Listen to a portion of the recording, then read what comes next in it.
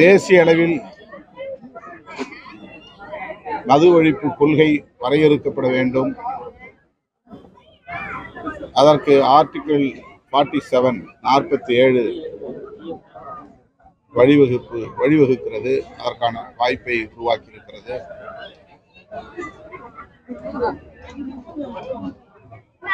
பாண்டிச்சேரி போன்ற யூனியன் பிரதேசங்கள் நேரடியாக இந்திய ஒன்றிய அரசின் கட்டுப்பாட்டில் உள்ளவை.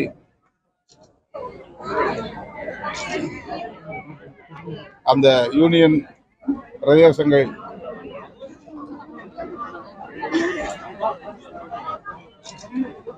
ஒன்றிய அரசாங்கத்தின் அனுமதியோடு தான் மது வியாபாரத்தையும் செய்கிறது. இதனால் ஏராளமான இளம் தலைமுறையினர் பாதிக்கப்படுகிறார்கள். மனித வளம் பாழாகிறது. ஆகவே மாநில அரசுகளுக்கான பிரச்சனையாக இதை நாம் சுருக்கி பார்த்துவிட முடியாது. மது மற்றும் போதைப்பொருள் புழக்கம் என்பது ஒரு தேசிய பிரச்சனை. எனவே தேசிய அளவில் இதனை அணுக வேண்டிய தேவை இருக்கிறது. அனைத்து தரப்பு ஜனநாயக சக்திகளும் ஒருங்கிணைந்து செயல்பட்டால் தேசிய அளவில் நம்மால் மது மற்றும் போதைப் பொருள்களை ஒழித்து கட்ட முடியும் என்று விடுதலை சிறுத்தைகள் கட்சி நம்புகிறது. தொகுதி சீரமைப்பு நடவடிக்கைகளை மேற்கொள்ள வேண்டிய தேவை எழுந்துள்ளது. இந்த சூழலில் மக்கள் தொகை அடிப்படையில் நாடாளுமன்ற தொகுதிகளை வரையறுத்தால் தமிழ்நாடு ஆந்திரா கர்நாடகா போன்ற தென் மாநிலங்கள் கேரளா உட்பட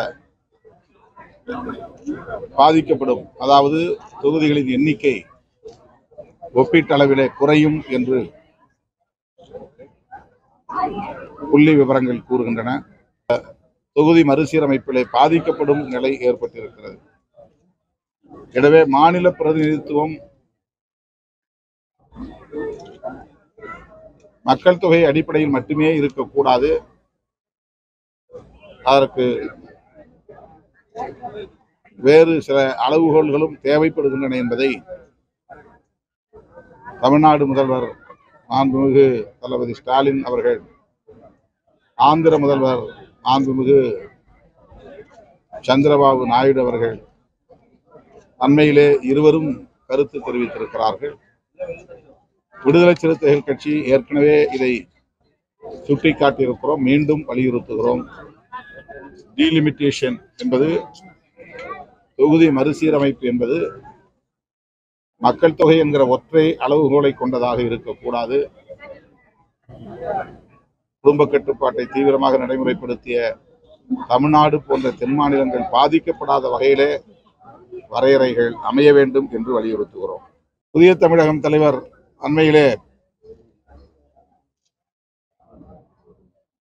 திட்டமிட்டு ஒரு அவதூறை பரப்பியிருக்கிறார். அவரே ஆளை ஏற்பாடு செய்து கேள்வி கேட்க வைத்து அதற்கு அவர் விளக்கம் சொல்லுகிறார். தன்னியல்பாக ஊடகவியலாளர்கள் எழுப்பிய கேள்வியாக அது இல்லை. விடுதலை சிறுத்தைகள் கட்சிக்கு களங்கத்தை ஏற்படுத்த வேண்டும் என்கிற ஒரு உள்நோக்கம் இதிலே வெளிப்படுகிறது.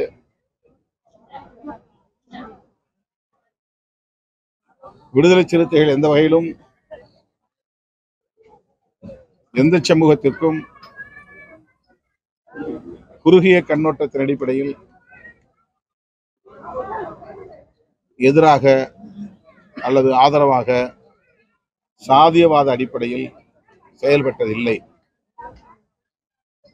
இதனை அரசியல் நேர்மை உள்ள அனைவரும் நன்கு அறிவார் அறிவர். விடுதலை சிறுத்தைகளுக்கு எதிராக திட்டமிட்டு தொடர்ந்து சிலர் அவதூறு பரப்புவது